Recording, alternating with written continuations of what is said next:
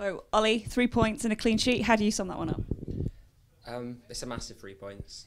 Um, disappointed not to get all three on Wednesday night, um, but no, I think sometimes the performance wasn't quite there today. But we gave everything out there on the pitch, and we got the three points, which is all that matters. What can a result like that do for this dressing room for this team? Hopefully, this is this is the start now. Hopefully, this is it for us to kick on.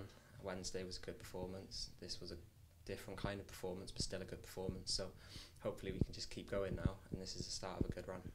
You said after your uh, your league debut on uh, sorry your first league start uh, for Swansea on Wednesday that you were looking forward to doing that at home. How was that experience today? Yeah, amazing. It's amazing finally getting out there from the first whistle, um, playing in front of all those fans and hearing them chanting your name is amazing. So it's something I've been looking forward to for ages and it's finally here now, and I just want to keep playing in front of them now. Yeah, because you've obviously, I think you joined the club when you were maybe 11, sort of under 12s. It's been a long wait in terms of, getting this this moment, so it must have been a, a, brilliant moment for you. Yeah, yeah, I feel like it's something that I've been looking forward to for such a long, long time, and it's been around it. Not last season, the season before. Um, you just you just want to get out there. You just want to play football, and you want to play in front of the fans. So I finally managed to do it and I enjoyed every minute of it. See, last season you were out on loan. Do you think that helped you in terms of getting ready for the, the Saturday, Tuesday, or the Wednesday, uh, Saturday in this scenario? Yeah, definitely. It's massive, massive.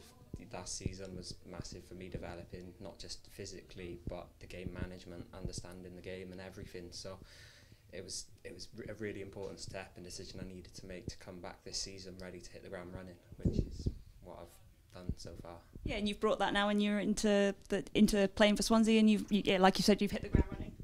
Yeah, yeah. I just that's what I want to do. I just want to play in this team. I want to play for the gaffer, and I know when I get on that pitch, I can show what I can do. And now I'm getting given the opportunity. So.